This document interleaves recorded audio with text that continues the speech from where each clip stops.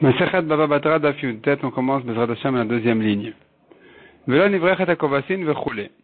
On avait dans la Mishnah, on n'a pas le droit de creuser à côté de son voisin, Nivrechet un bain à Kovasin de ceux qui lavent les habits. Il doit s'éloigner trois tfachim du mur de son ami.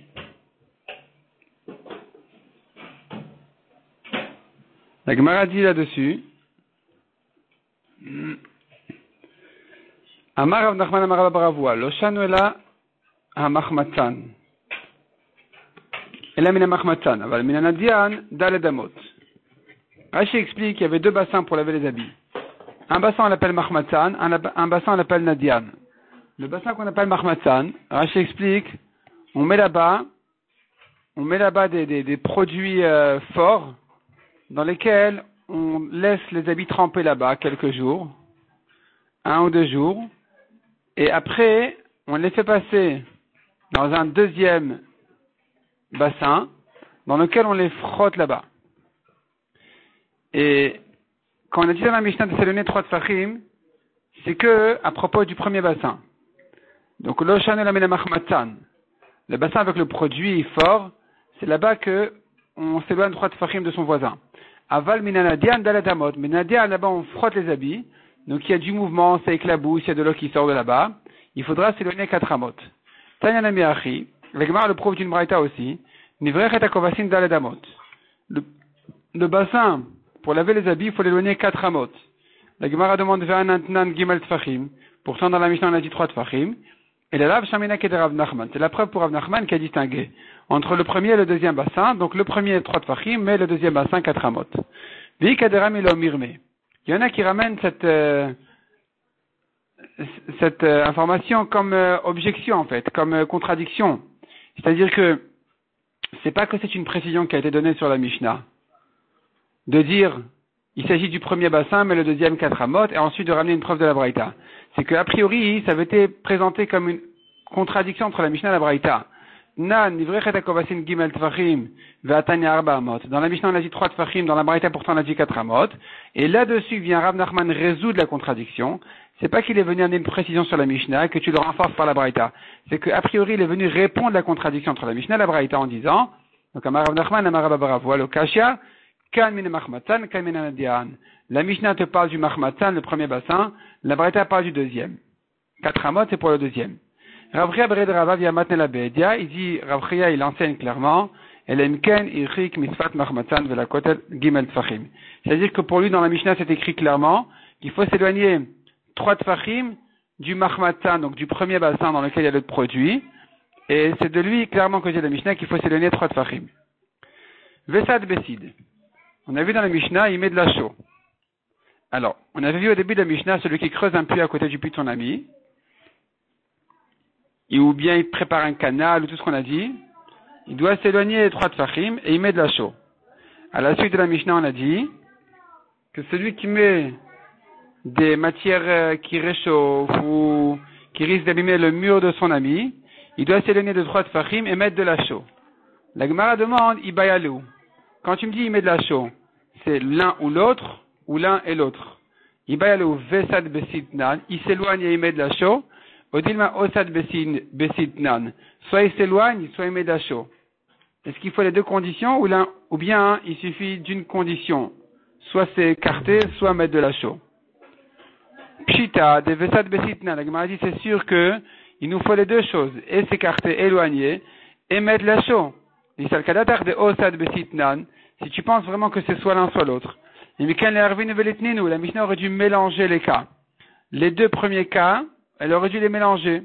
Dans les deux cas, le premier cas de la Mishnah, éloigner un puits d'un autre. Le deuxième cas où on éloigne ce qui abîme le mur. Alors que il s'agissait, là-bas de, euh, là-bas, il était question de, de faire soit l'un soit l'autre, soit écarter, soit mettre de la chaux. Et puisque la Mishnah n'a pas mélangé les deux cas, c'est la preuve que le premier cas, il faut les deux conditions. Avant de creuser un puits, pour creuser un puits à côté du puits de son ami, il faut et écarter et mettre de la chaux. Et dans le deuxième cas de la Mishnah où il s'éloigne d'un mur, là-bas il suffit d'une des deux conditions. Parce que si dans les deux cas il nous faut les deux conditions, alors la Mishnah aurait dû mélanger les cas ensemble en disant écarte-toi de trois tfachim, et mets de la chaux. Liarvinu velitninu. Donc, puisque la Mishnah n'a pas mélangé les cas, c'est qu'il y a une différence. Dans la Recha, c'est il faut les deux. Dans le mur, c'est soit l'un, soit l'autre. La Gemara repousse et dit Dilma Mishum de l'Odami. Hayezeka la Yezeka. Peut-être que la Mishnah ne les a pas mélangés parce que les, les dommages ne se ressemblent pas. Recha Ezeka de Matuna. Alors que la Recha, un puits à côté d'un puits, le dommage, c'est un dommage d'humidité qui va abîmer le puits de son ami. Sefa Ezeka de Evla. Alors que la suite de la Mishnah, c'est un problème de, de chaleur. Et que quand tu mets maintenant, tu mets des, par exemple des résidus d'olive ou quoi, ça va chauffer. Ça va chauffer la terre et abîmer le mur. Donc puisque ce sont deux raisons différentes de s'éloigner de son ami. Une fois c'est l'humidité, une fois c'est la chaleur. La Mishnah les a distingués, partageant en deux cas. Mais en réalité, au niveau de la les deux sont pareils. Dans les deux cas, il faudrait peut-être et s'éloigner et mettre de la chaux. On n'a pas de preuve de la, du fait que la Mishnah a partagé en deux cas, qu'il soit différent aussi au niveau de la Peut-être que dans les deux cas c'est pareil, il faut et s'éloigner et mettre de la chaux. L'Egma continue donc sa recherche. Tashmar Abu Omer. C'est la Babi. De la terre qui s'effrite dans les mains. Zechofer boromikan ve boromikan. L'un creuse son puits à droite, l'autre creuse son puits chez lui, chez l'autre. Zemachik gimel tfachim besad besid, ve gimel tfachim besid. Le premier s'éloigne trois tfachim et il met de la chaux. Le deuxième s'éloigne de trois tfachim encore de l'autre côté et il met aussi de la chaux. Tama de La raison pour laquelle il faut s'éloigner et mettre de la chaux, c'est parce que c'est la terre qui s'effrite. Donc il faut plus se renforcer. Renforcer chacun de son côté. Ha lo. Mais si c'était pas de la terre qui s'effritait, on n'aurait pas eu besoin des deux choses. Il aurait suffi d'une des deux choses, soit s'écarter, soit mettre de la chaux. La Gemara répond et dit non. Wadi nafalgav de nami sad. En fait, même si c'est pas de la terre qui s'effrite, il faut et s'éloigner et mettre de la chaux. Et la raison pour laquelle on a parlé de la raison pour laquelle on a parlé de Babi Adaim, de la terre qui s'effrite, ou Babi Adaim hystérique pour t'apprendre un chidouche, le cas tu aurais pu dire que de Babi Adaim, Puisque c'est de la terre molle qui s'effrite, il faudrait peut-être plus, plus d'espace, plus de distance entre un puits et l'autre. Kamash Malan, on te dit non, il suffit de trois tfachim pour chacun, en tout six tfachim entre un puits et un autre. Six tfachim plus la chose chez chacun, ça suffit. Mais en réalité, c'est pas la preuve que c'est un cas exceptionnel. C'est pas parce que ça s'effrite que ce sera différent. Donc Agmara finalement elle maintient la possibilité de comprendre dans la Mishnah qu'il n'y ait pas de différence au niveau de la entre la Recha et la Metiata, entre les deux cas, entre deux puits ou bien ce qui abîme le mur. Il se peut que dans les deux cas, il faudrait les deux, les deux choses, les deux conditions, et s'éloigner et mettre de la chaux. On a vu dans la Mishnah que toutes ces choses-là qui chauffent, qui ont comme euh, toutes ces choses-là qui, ont comme caractère de, de, de, chauffer la terre, de chauffer l'air, il faut les éloigner du mur de son ami. Donc Gefet, c'est les résidus d'olive, Zevel, c'est les engrais, Melach, le sel, Slaim, c'est des pierres chaudes. Tout ça, il faut les éloigner. La Gemara ramène une Mishnah dans Masechet Shabbat. Dans la Gemara Shabbat, nous avons une Mishnah qui dit, Nanatam, nous avons une Mishnah là-bas qui dit, Bamet Tomlin et Bamet Tomlin. Dans quoi on peut euh, enfouir, envelopper la casserole de Shabbat et dans quoi on n'a pas le droit. Quelque chose qui va réchauffer davantage, on n'a pas le droit. Quelque chose qui ne va que maintenir la chaleur, on a le droit. Il s'agit d'avant Shabbat. Avant Shabbat, on aura le droit d'envelopper la casserole dans quelque chose qui va maintenir sa chaleur, mais pas dans quelque chose qui va réchauffer davantage. Et donc la Mishnah nous dit là-bas une liste de choses, une liste de choses qui sont, qui, qui réchauffent, qui réchauffent, qui vont ajouter de la chaleur. Donc, On n'a pas le droit de mettre de la casserole ni dans des résidus d'olive, ni dans des engrais, ni du sel, ni de la chaux, ni du sable. Ben achin ben aussi bien humide que sec. Donc, nous avons ici toute une liste de choses qui réchauffent. Et dans cette liste de choses, nous avons ce qui été cité là-bas dans la Mishnah, donc, euh, comme on a dit, les, olives, les engrais, le sel, la chaux et le sable. Dans notre Mishnah, nous avons encore une liste de choses qui abîment le mur parce que ça réchauffe. Et la liste, elle est un peu différente. C'est ce que demande la Gemara. Pourquoi chez nous, dans Baba Batra, nous avons les pierres chaudes, les rochers, on n'a pas le sable? Et pourquoi dans Shabbat on a cité le sable et pas les pierres? Amar Yosef, les. La raison pour laquelle dans Shabbat on n'a pas dit les pierres chaudes, c'est parce que quand on parle de casserole, on ne met pas des casseroles dans des pierres. Ça va abîmer la casserole. Abaye lui demande, est-ce que ce qu'on n'a pas l'habitude de faire, on n'est pas cité dans la Mishnah, est-ce que les gens ont eu l'habitude de mettre leur casserole dans des tontes de laine, ou bien dans, des, dans de la laine euh, teinte, teinte en rouge, pour que tu nous dises la halachot de la, la casserole qu'il a mis dans ces choses-là, des tania comme on a vu dans la Braïta, Tomnin begizet tzemer, ou vtipet tzemer, ou bilshonot shalargaman. Donc Tomnin, on a le droit de mettre la casserole dans quoi? Gizet tzemer des tontes de laine, Tipet tzemer, c'est de la laine, euh, Tipet tzemer, c'est de la laine euh, peignée, peignée, il a brossé la laine, il a préparé la laine, et, donc ça c'est Tipet Temer. Gizet Temer, c'est dès qu'il a tendu. Tipet Temer, c'est quand il a commencé à préparer la laine. Ou Bilishonat Shalagaman, c'est quand ça, a été teint en rouge. Ou Vemochin. Mochin, c'est des, morceaux d'habits, de, de, laine, des résidus de vêtements, de couverture. On a le droit donc de mettre la casserole dans ces choses-là. Ven metal mais c'est mukti. On n'aura pas le droit de les porter pendant Shabbat. Or, ce sont des choses qu'on n'a pas l'habitude de faire. Et pourtant, et pourtant, on nous les dit. Donc, ici aussi, il n'y a pas, c'est pas, pas une bonne réponse de dire que les pierres chaudes, c'est pas l'habitude de mettre la casserole dedans. Et alors, si c'est pas l'habitude, on devrait quand même dire la lacha. Et la marabaya guide à l'avréo. Abaye dit non, en fait, c'est un apprend le pour le deuxième. La guide c'est une expression, un pasouk, un pasouk qui dit que il te dit un cas, il en est de même pour le deuxième. Yagid Alavréo, son ami va, lui, va apprendre pour lui. Et donc le fait qu'ici on n'a qu'une partie de la liste et là-bas qu'une partie de la liste, c'est pas grave, elle a un complète et chaque liste va compléter la deuxième. La Gemara demande, non, c'est pas, ça tient pas, Rava. Non, d'abord il dit comme ça, voyez. Donc Yagid Alavréo, Tana Chaslaim Vodin Echol, on nous a dit les pierres, il en est de même pour le sable, Tana Tamchol Vodin Eslaim. On a dit là-bas le sable, il en, est, de même pour les pierres.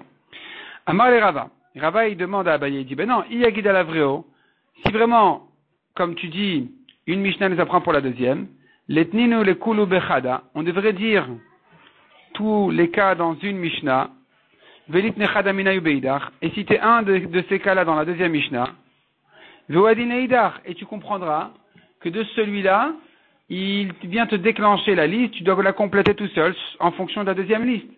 Si par exemple dans Shabbat on a vu une partie de la liste, dans Baba Batra on a vu toute la liste, alors dis-moi un, une chose dans Shabbat, et je saurai déjà quoi compléter et égaliser les listes de Shabbat avec Baba Batra, le principe, toutes les choses qui vont euh, euh, réchauffer. Et là, Marava. Rava propose une autre réponse. Pourquoi on n'a pas cité dans Shabbat les pierres? Mishum de Parce que, comme on a dit, ça abîme vraiment la casserole et jamais on le fait. C'est pas qu'une question d'habitude. C'est que vraiment, c'est pas pratique. Personne voudra mettre sa casserole dans des pierres chaudes. Ainutama Chez nous, pour quelle raison?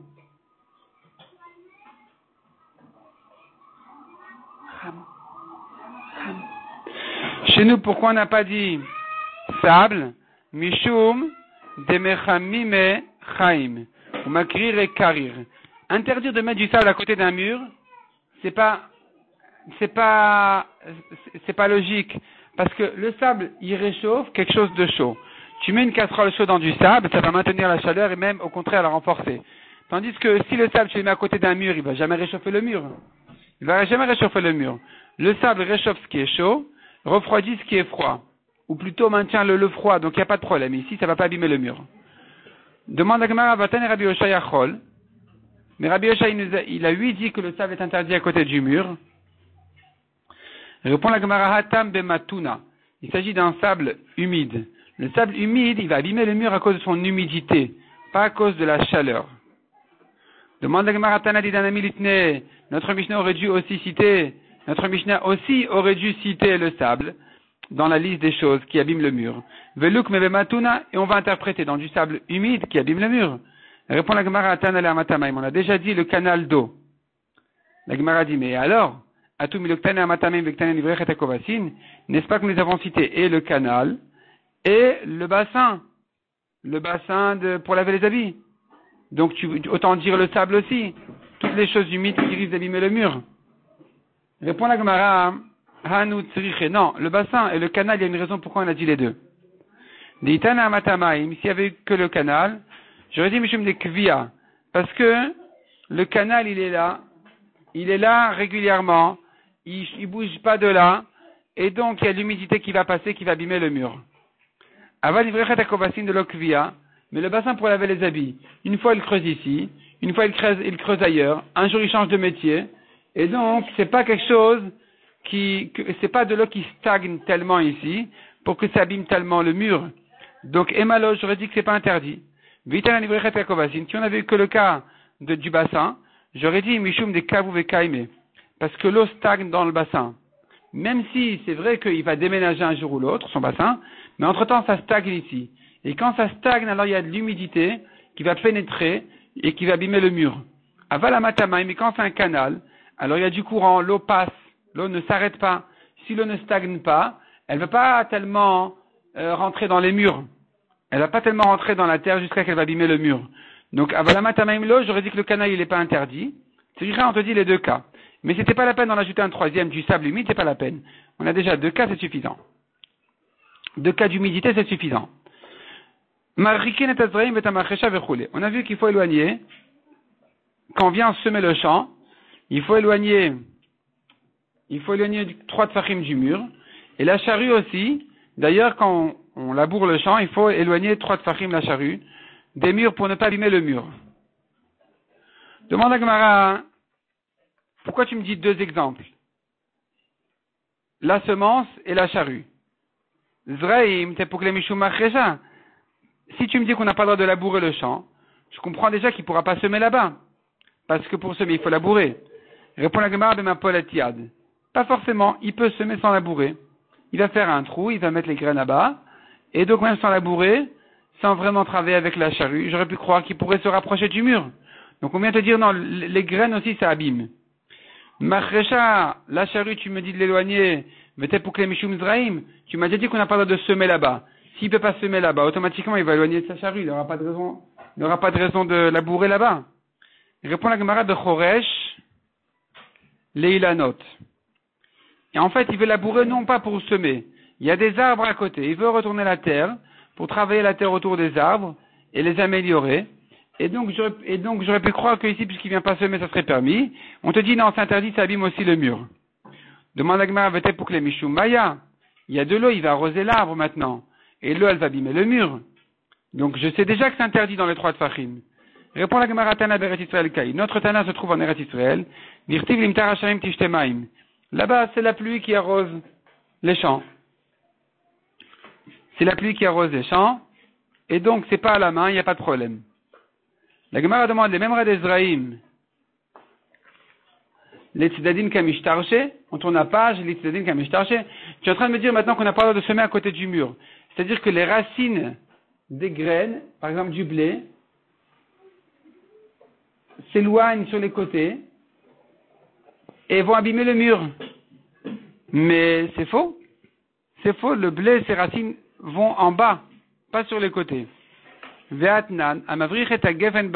avons une Mishnah qui dit, celui qui rentre, celui qui rentre sa vigne dans la terre, il prend une branche de sa vigne, il la rentre dans la terre pour la ressortir plus loin.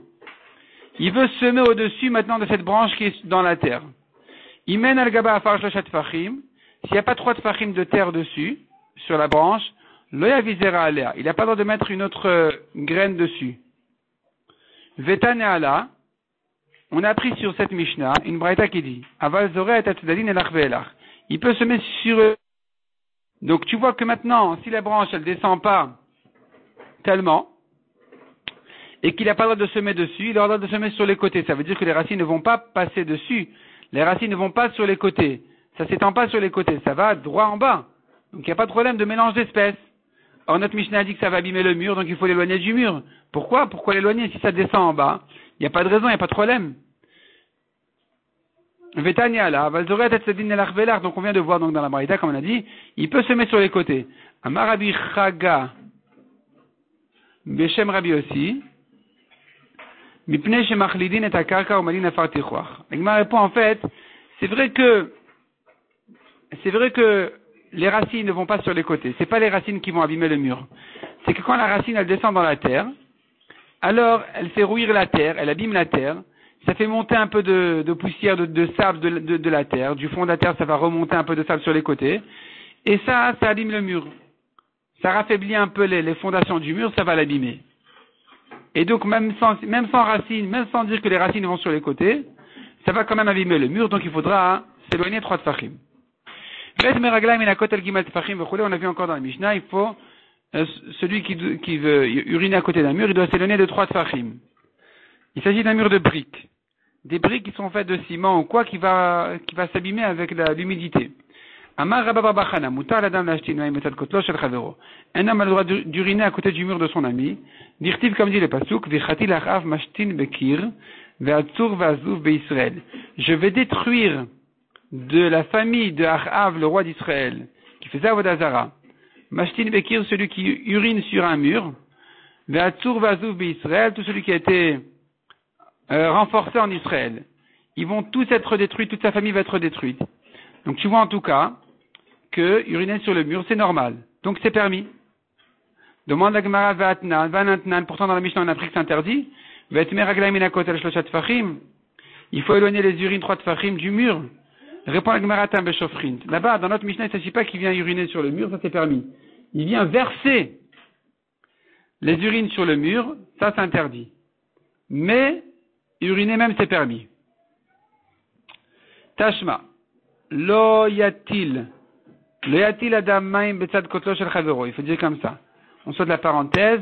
Lo yatil adam maim betzad kotlo shel chavero. El amken rikimenu gimal tfachim. Donc nous avons ici une vraie qui interdit d'uriner jusqu'à dans, les trois du mur de son ami. Bamet varim amorim bekotel evenim. Quand c'est un mur de briques. Aval bekotel avanim, mais de pierre, un mur de pierre. Birde shelayazik. C'est pas la peine de s'éloigner trois tfachim. L'essentiel c'est de ne pas abîmer le mur. Vekama tefar. Un tefar c'est suffisant. Veshal mamoutar. Un mur de rocher. C'est permis vraiment, même sur le mur, parce qu'il va rien se passer. C'est une objection pour Rabba qui a autorisé d'uriner à côté du mur. Or là, on voit qu'il faut s'éloigner trois tfachim dans les briques, un tefar dans les pierres. Et lui, il a tout permis. Il avait tout permis, donc il a objecté. Demande à Gemara, mais il a donné une preuve du pasouk. Il a donné une preuve du pasouk de la famille de Achav. Pourtant, il a ramené un pasouk comme quoi c'était, c'est normal que, enfin, c'est humain pour un homme euh, de, de le faire sur un mur. Répond la Gemara Tamachikama. Non, c'est pas ça ce que veut dire le pasouk là-bas. Le pasouk qui veut dire comme ça. Je reprends. Afilumide, même quelque chose. Des dark que son habitude. L'ishtune bekir, d'uriner sur un mur. Le shavik n'allait, je ne vais pas laisser dans la famille de Achav. Ou maïniou, et de quoi il s'agit? Kalba d'un chien. Mais pour un homme, c'est interdit. Amar abituvi barkisna marshmuel. Rakik, eno memaet bechalom une galette toute fine ne diminue pas une fenêtre. Une fenêtre entre deux pièces. Dans une pièce, il y a la touma, la touma d'un mort. La touma, elle traverse la fenêtre, elle rentre dans la deuxième pièce. Si la fenêtre ne fait pas un tefar, la touma s'arrête là-bas. Parce que c'est comme si c'était fermé. C'est comme si c'était bouché. Si maintenant il a mis une galette là-bas, on ne considère pas que ça va diminuer la fenêtre qu'elle ne fasse pas un tefar. Maïriarakik, ami, pourquoi tu me parles d'une galette toute fine, même, même si c'est un gâteau euh, épais, ça revient au même. L'homme ibayakama, répond la Gemara, non, c'est bien de prendre un chidouche. L'homme ibaya, c'est pas la peine de dire, avait, que si c'est une, une, galette épaisse, qui va de irzele, puisqu'il va la manger, l'homme il veut pas l'annuler au mur. Donc c'est sûr que ça va pas diminuer les mesures de la fenêtre. Avalrakik demim is, mais quand c'est tout fin, puisque ça s'est sali dans la fenêtre et que c'est dégoûtant, il ne peut pas le manger. Et les mavtile, j'aurais pu croire qu'il annule là-bas au mur, il va le laisser au mur, et que donc ça pourra diminuer la mesure de la fenêtre parce que ça fera partie du mur puisqu'il veut la laisser là-bas. Kamash Malan, on te dit non. on te dit non, ça ne s'annule pas, et donc la fenêtre reste aussi grande que ce qu'elle était. Demande à Gmara, vete pouclé d'avaler d'avoir chez mais kabel touma? Vete pouclé, dis-moi pour une autre raison que ça ne s'annule pas là-bas. C'est une chose qui reçoit la touma. Un aliment, la nourriture, ça reçoit la touma en général. Et si ça reçoit la touma, ça ne peut pas, ça ne peut pas arrêter la touma. Le chol d'avoir chez kabel touma, toute chose qui peut recevoir la touma, et non chotet vifna touma, ne peut pas faire une séparation auprès de la touma.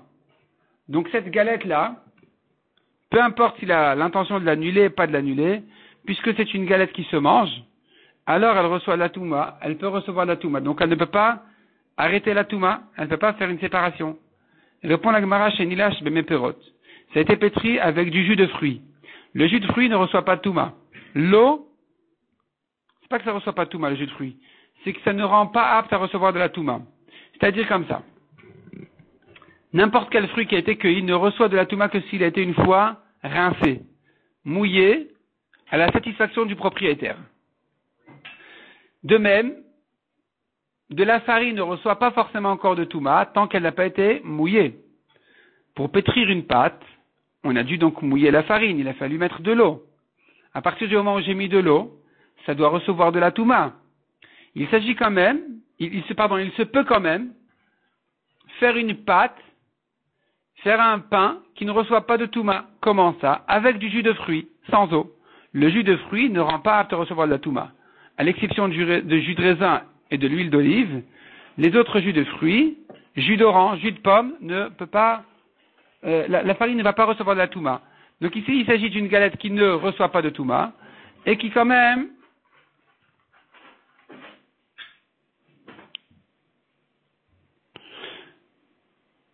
ne va pas freiner la Touma parce que parce que même si ça peut recevoir même si ça ne reçoit pas de Touma puisqu'il a l'intention de la sortir pour la manger ou même sinon même si ça se salit là-bas quand même c'est un aliment c'est pas sa place donc ça ne va pas diminuer les mesures de la fenêtre object une boîte pleine de foin, un tonneau plein de figues, amunachim bechalon, qui est posé dans la fenêtre. Ro'in, on vérifie, on essaye d'évaluer, de calculer. Si, si on avait retiré le tonneau de là, la boîte de là, on avait laissé que le foin, que les figues. Et que le foin ou les figues auraient pu tenir même sans le tonneau, sans la boîte, ils font une séparation pour la touma je considère que ça bouche le mur. Sinon, ça n'arrête pas la touma. Si j'ai besoin de la boîte ou du tonneau pour que ça puisse tenir ici, alors ça ne freine pas la touma. Donc il s'agit ici à nouveau de figues qui n'ont pas été mouillées encore, qui ne reçoivent pas de touma. Et donc il se peut que ça puisse arrêter la touma. Demande Pourtant le foin, il est, il, pourrait le donner à ses animaux à manger. Donc il pourrait avoir l'intention de le sortir de là. Or on a dit que s'il a l'intention de le sortir de là, alors ça ne freine pas la touma. Répond la Gemara, Bessaria. Non, c'est ça, c'est du foin qui a pourri, des figues qui sont abîmées. Et donc le foin, parlons du foin d'abord. Il, il la paille, elle a pourri, donc il ne va pas la donner à ses animaux. Le Gemara demande Chaziletina, il peut encore mettre, en faire du ciment et des briques? Deit il y a des épines, il ne peut pas travailler avec ça. Chazele Asaka, il peut le brûler, faire un feu. Bematuna, c'est humide, il ne pourra pas faire un feu. Chazele Gadol, il pourra le mettre dans un grand feu, donc l'humidité ne sera pas gênante parce que ça va prendre feu quand même, ça va vite sécher. Et Sek Gadol, Shriar, la répond non, c'est pas fréquent de faire un grand feu. En principe, on considère qu'il n'a rien à faire avec ça, ça s'est abîmé, ça s'est mouillé, donc c'est fini, il jette.